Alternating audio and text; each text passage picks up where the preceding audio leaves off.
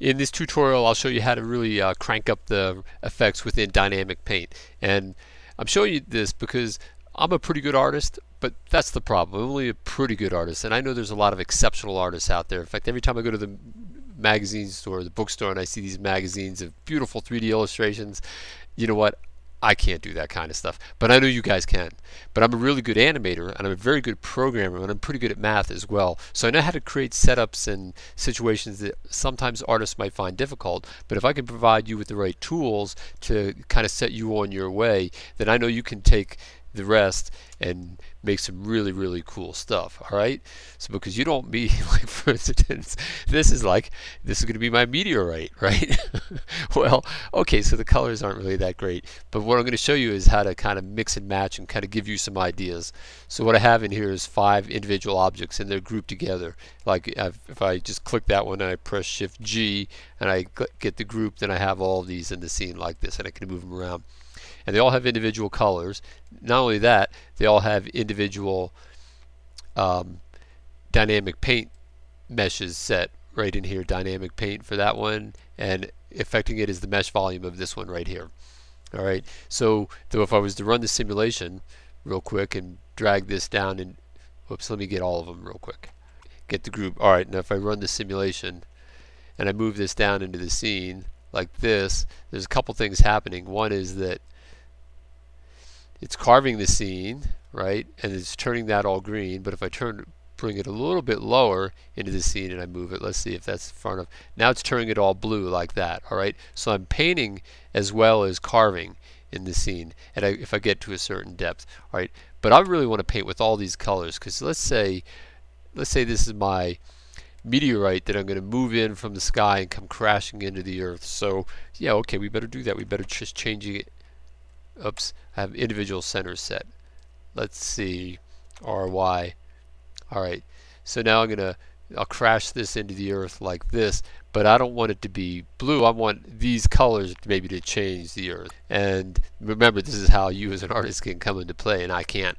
So I'm going to come into here and make sure that for each individual brush, you have to come down here and use the object material like that, and then get the name of that oh well we get that material which is well I guess it's the white material. I don't know. Well, you kind of get the idea. You click the object material and you go get the one that you have set.